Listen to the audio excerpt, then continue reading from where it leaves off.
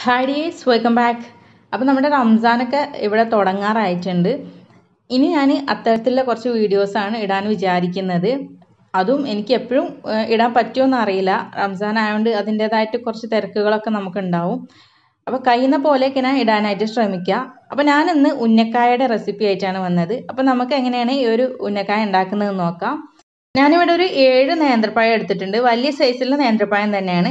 അപ്പം ഞാനിതൊന്ന് കട്ട് ചെയ്തതിന് ശേഷം നമ്മളിത് വേവിച്ചെടുക്കണം. അതായത് ആവി കയറ്റിയിട്ടാണ് നമ്മൾ വേവിച്ചെടുക്കുന്നത്. പിന്നെ നിങ്ങൾ നേന്ത്രപ്പഴം എടുക്കുമ്പോൾ അധികം പഴുത്തത് എടുക്കാതിരിക്കാൻ ശ്രദ്ധിക്കുക. അധികം പഴുത്തത് എടുത്താൽ നമ്മളത് ഫില്ലിങ് ചെയ്യുമ്പോൾ അത് പൊട്ടാനുള്ള ചാൻസ് ഉണ്ട്. അതുപോലെ എണ്ണ കുടിക്കാനും കൂടുതൽ ചാൻസ് ആണ് നമ്മൾ കട്ട് ചെയ്ത പഴം ഇഡ്ഡലി പാത്രത്തിൽ വെച്ച് അഞ്ച് മിനിറ്റ് നമ്മളൊന്ന് സ്റ്റീം ചെയ്തെടുക്കുക. ആ സമയം കൊണ്ട് നമുക്ക് അതിന് വേണ്ടിയിട്ടുള്ള ഫില്ലിംഗ് കൂടെ തയ്യാറാക്കാം. അതിനുവേണ്ടി ഞാനൊരു ചട്ടി എടുത്തിട്ടുണ്ട്. അതിലേക്ക് രണ്ട് ടീസ്പൂൺ നെയ്യാണ് ചേർത്ത് കൊടുത്തേക്കുന്നത്.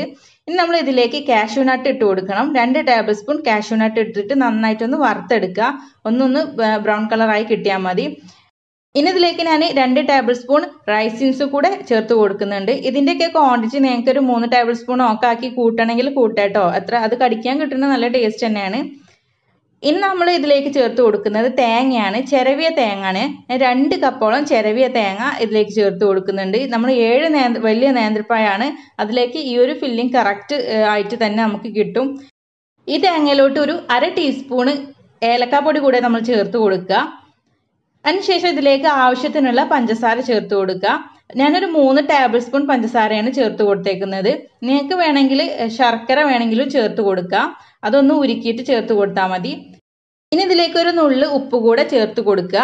അതിനുശേഷം നമ്മൾ ഇതൊന്ന് നന്നായിട്ട് ഒന്ന് വറുത്തെടുക്കുക. നല്ല ബ്രൗൺ ആയിട്ടൊന്നും വറക്കേണ്ട ആവശ്യമില്ല. ജസ്റ്റ് ഒന്ന് വറന്ന് കിട്ടിയാൽ മതി. ആ ഒരു പാകത്തിലാണ് ഇത് ടേസ്റ്റ് ഉണ്ടാവുക. ആ സമയം കൊണ്ട് തന്നെ നമ്മുടെ പഴം ഇവിടെ നന്നായി വെന്തിട്ടുണ്ട്. അപ്പം ഞാൻ ഇതിന്റെ തൊലിയൊക്കെ ഒന്ന് മാറ്റി കൊടുക്കുന്നുണ്ട്. ഇനി നമ്മൾ പഴത്തിന്റെ മുകളിൽ കാണുന്ന ഈ നാരും ഇതിൽ നിന്ന് മാറ്റണം. ഇത് എന്തിനാ മാറ്റുന്നതെന്ന് വെച്ചാൽ ഇത് നമ്മൾ റോൾ ചെയ്ത് ഇതിന്റെ ഉള്ളിൽ ഫില്ലിങ് വെക്കുമ്പോൾ ഈ ഈ ഒരു നാരുണ്ടായാൽ പൊട്ടിപ്പോവാനുള്ള ചാൻസ് കൂടുതലാണ്. അതുകൊണ്ടാണ് നമ്മൾ ഇതിന്റെ പുറത്തുള്ള നാരും അതുപോലെ അകത്തുണ്ടാവുന്ന ഈ കറുത്ത പാർട്ടില്ലേ ഇതും നമ്മൾ മാറ്റിയെടുക്കണം. എന്നാലേ നമുക്ക് പെർഫെക്റ്റ് ആയിട്ട് ഇത് റോൾ ചെയ്ത് കണ്ടും അതുപോലെ പൊട്ടാതെ നമുക്ക് ഈ ഒരു ഉന്നക്കായ കിട്ടുള്ളൂ. ഇനി ഇതെല്ലാം ഞാൻ ആ നാരും ഒക്കെ മാറ്റിയതിന് ശേഷം ഒരു പാത്രത്തിലേക്ക് ഇട്ട് കൊടുത്തിട്ടുണ്ട്.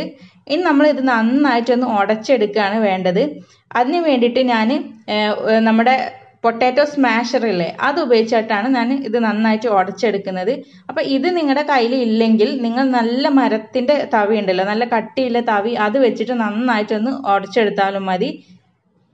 ഇത് നിങ്ങൾ നന്നായിട്ട് തന്നെ ഉടച്ചെടുക്കാനായിട്ട് ശ്രദ്ധിക്കണം. ഇതിൽ കട്ടയോ അങ്ങനെ എന്തെങ്കിലും ഉണ്ടെങ്കിൽ നമ്മളിത് റോൾ ചെയ്തെടുക്കുന്ന സമയത്ത് ശരിയായിട്ട് റോൾ ചെയ്തെടുക്കാൻ നമുക്ക് പറ്റൂല. അതുപോലെ ഫില്ലിങ് വെക്കുമ്പോഴും ഭയങ്കര ബുദ്ധിമുട്ടായിരിക്കും. എന്നിട്ട് ലാസ്റ്റ് നമ്മൾ ഇതൊന്ന് കൈകൊണ്ട് നന്നായിട്ട് ഒന്ന് കുഴച്ചെടുക്കണം കേട്ടോ. ഇത് നമ്മൾ കൈകൊണ്ട് കുഴക്കുമ്പോൾ അതിലുള്ള കട്ടകളൊക്കെ ഉണ്ടെങ്കിൽ നമുക്ക് മനസ്സിലാക്കാനായിട്ട് പറ്റും. അപ്പോൾ ഇത് നന്നായിട്ട് കൈകൊണ്ട് കൂടെ ഒന്ന് കുഴച്ചെടുത്തിട്ടുണ്ട്. എന്നിട്ട് ഇതുപോലെ ഒരു ഡോ ആക്കി വെച്ചിട്ടുണ്ട്. നമ്മൾ കുഴച്ചെടുത്ത ഈ പഴക്കൂട്ടിൽ നിന്ന് കുറച്ചെടുത്തിട്ട് ഒരു ചെറുനാരങ്ങ വലുപ്പത്തിൽ ഒന്ന് ഉരുട്ടിയെടുക്കണം. നമ്മൾ ചപ്പാത്തിക്കും പത്തിരിക്കും ഒക്കെ ഉരുള എടുക്കൂലേ? ആ രീതിയിൽ എടുക്കുക. എന്നിട്ട് നമ്മുടെ കൈയിന്റെ ഉള്ളിൽ വെച്ചിട്ട് നന്നായിട്ടൊന്ന് പ്രസ് ചെയ്ത് കൊടുക്കുക. ഇങ്ങനെ പ്രസ് ചെയ്തതിന് ശേഷം നമ്മൾ ഇതിലേക്ക് ഫില്ലിങ് വെക്കുക. നിങ്ങൾ ഫില്ലിങ് വെക്കുമ്പോൾ ശ്രദ്ധിക്കുക. ഇതിന്റെ അകത്ത് ഇങ്ങനെ നമ്മുടെ ചിരവിയ തേങ്ങ ഇതുപോലത്തെ വലിയ പാർട്ട് ഉണ്ടെങ്കിൽ ഒന്ന് മാറ്റി കൊടുക്കുക. അത് നമ്മളിത് റോൾ ചെയ്യുമ്പോൾ പൊട്ടും. അതുകൊണ്ടാണ് അത് മാറ്റി കൊടുക്കാൻ പറയണേ. എന്നിട്ട് രണ്ട് ഭാഗത്തുനിന്നും ആയിട്ട് ഇങ്ങനെ നമ്മൾ സീൽ ചെയ്ത് കൊടുക്കുക. അതിനുശേഷം നമ്മുടെ കൈയിന്റെ അകത്ത് വെച്ചിട്ട് നന്നായിട്ടൊന്ന് ഉരുട്ടിയെടുക്കുക.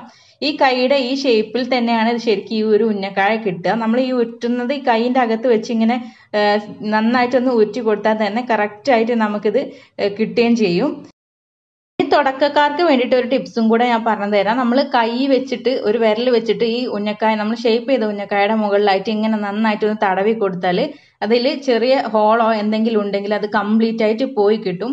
അപ്പോൾ ഇങ്ങനെ ചെയ്യാത്തവരുണ്ടെങ്കിൽ ഒന്ന് ചെയ്ത് നോക്കാം. എന്നാൽ നമുക്ക് പെർഫെക്റ്റ് ആയിട്ട് തന്നെ നമുക്ക് കിട്ടുകയും ചെയ്യും.